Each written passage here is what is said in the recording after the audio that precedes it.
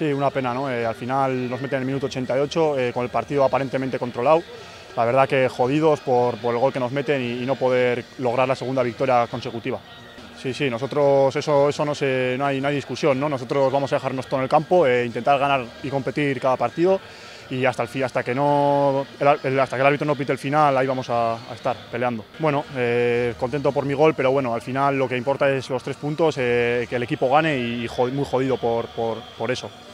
Ba, bai, e, pena ez, bazirudien ja iru puntuak hemen gelditu behar zirela, eta azkenean ba, e, okazin horretan ba, empatea heldu da, eta bueno, ba, mingarria ez. Ba, jeurak uste dute lan hona egin dutela, eta ala eta guztiere, ba, bueno, uste dute guk geure gioia jarraituz, ba, e, min egin diogula, horregatik aurrera, aurrean jarri gera, eta bueno, azkenean ba, hori, eh?